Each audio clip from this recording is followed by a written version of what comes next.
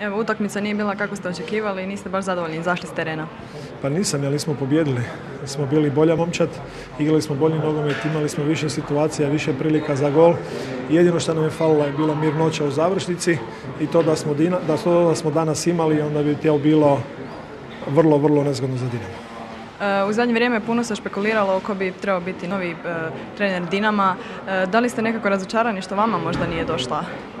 Ne, ne, ne. Pa ja imam svoj posao u lokomotivi, ja uživam s klincima. Kad vidim klinca od 17-18 godina koji igraju lepo nogomet, onda je to, nema ljepše. A sigurno bi bili sretni da vam je došao poziv od Dinama jer Dinamo se ne odbija. E, Dinamo se može odbiti, može, može. Može, ali- Može, može. Može, ali trener ipak u Hrvatskoj teže je ono biti treneri Dinama. Pa ja sam malo drugačiji. Ipak malo drugačiji. E, Što vas očekuje dalje u sljedećem kolu? Pa imamo Split, teška utakmica protiv jedne momčadi koja se bori za goli život.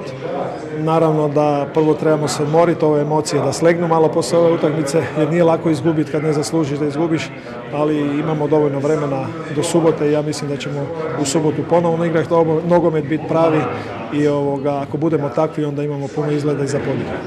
E, mislim da smo super odigrali, Dinamo je ipak Dinamo.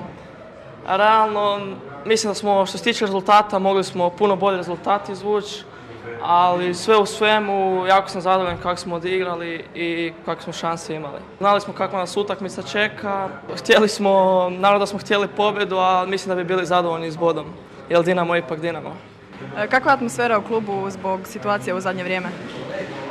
Pa atmosfera nije se ništa pretjerano promijenila, to je sve dio nogometa i pobjede i porazi su sastavni dio. I ništa, Znači, nema drastičnih promjena od kad je trener Sopić došao. sve nastavili smo dalje. Je gospodin Cico sve nas posložio, samo on, gospodin uh, Sopić je bio u stožeru i zna sve, sve ideje koje je Cico imao. I nastavljamo sad sa utakmicama i krećemo sad Ligi prvaka pa onda Hajduk. Što možemo očekivati od Juventusa? Uh, od Juventusa, znači, to je samo dodatna nagrada što igramo Ligu prvaka. Oni su konkurenti za osvajanje Lige prvaka, ali mi se nećemo predati, nego ćemo se baciti na glavu i dati sve od sebe i pokušati stvari dobar rezultat.